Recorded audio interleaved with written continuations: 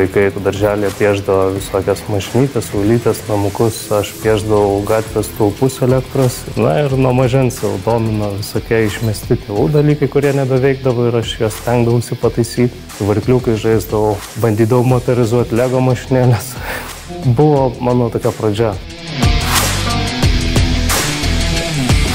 Esu Lukas Kazlauskas, man 26 metai, dirbu elektronikos inžinieriumi įmonė Teltonika Networks.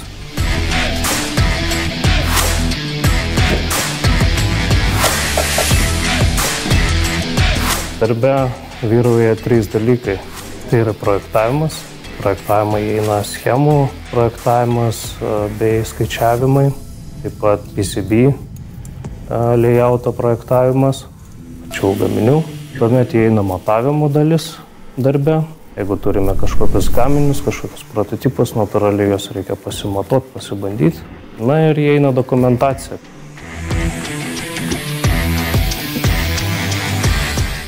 Važiuodamas į darbą, kai kada net nesusimastai, kad Teltonika Networks gaminių yra aplink, pavyzdžiui, eismo reguliavimas, šviesoforai, kameros. Gera būti to dalimi, to tobulėjimo, matyti pavyzdžius gyvai, kaip tai veikia, kaip tai integruota.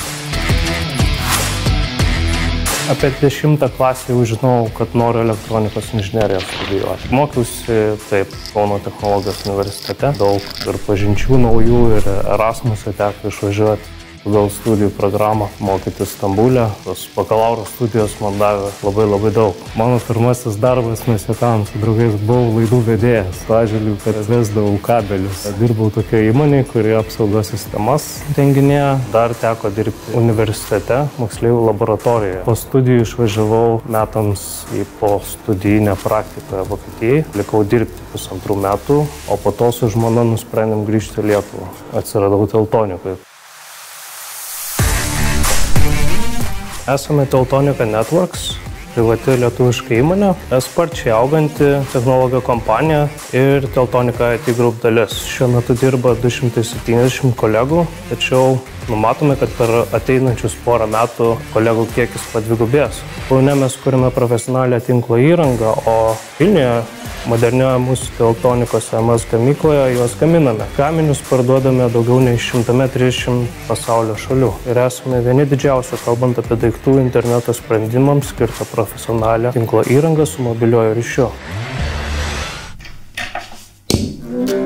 laisvalaikiu groju gitara ir man tai padeda darbe iš tikrųjų. Aš stengiuosi daugiau improvizuoti, atlikdamas pratimus ir kažką jau nueinu link kūrybos. Inžinierius yra kaip ir menininkas, jis turi improvizuoti.